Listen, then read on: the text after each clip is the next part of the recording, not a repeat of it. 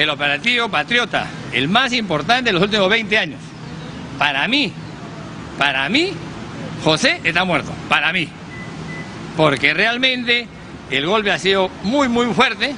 Yo quiero felicitar a los, a los, a los comandos del BRAE y nuevamente, como siempre, decirles, terrorismo, nunca más. Yo tengo la, la seguridad y la esperanza de que el 2026 el BRAE será una zona totalmente falsificada y una gran oportunidad para el país. A las Fuerzas Armadas lo que siempre le corresponde, cumplir con la Constitución, con la ley, con el desarrollo, tenemos proyectos importantes, tendiendo puentes.